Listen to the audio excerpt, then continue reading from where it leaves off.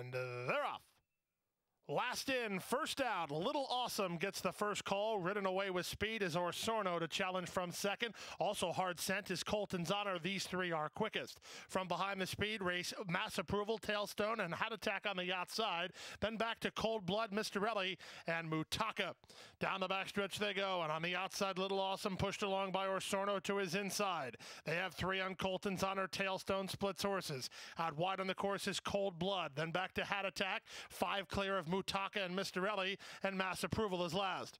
Around the far turn they go, and the leader, Little Awesome, puts away Orsorno, is committed for home at the three furlong point, leads it by five lengths. Running on from second now is Cold Blood from behind the speed, Tailstone, then Hat Attack. Mistorelli is asked to quicken, circling horses on the outside. Mistorelli has good looking momentum as well, trying to get to Little Awesome past the quarter mile pole. Little Awesome turns first on a two and a half length lead. Into second is Cold Blood to the outside, and Mistorelli asked to uh, do some work by Carlos Hernandez, and he's doing very good work at the final furlong grounds. Little Awesome is on the ropes. Here comes Mr. Mistorelli on the outside. From between horses, Cold Blood tries to stay with him. Late run from Tailstone, but Mr. Ellie will win it, edging clear by a length in the end. Second, Cold Blood got close after that, either Mutaka or Tailstone.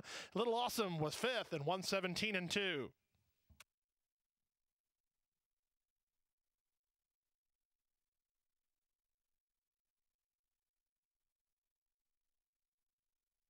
Pick three and late pick four wagering. Exacta 3120, trifecta with the one third, 1565, with the four third, 2195.